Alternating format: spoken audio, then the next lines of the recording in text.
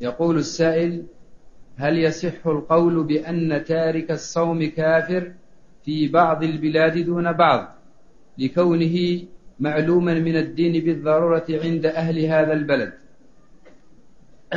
إذا ترك الصوم مستبيحا لتركه وقال الصوم ما هو بواجب ولا هو بلازم فهذا كافر بإجماع المسلمين لأنه مكذب لله ولرسوله. ولما علم من الدين بالضرورة.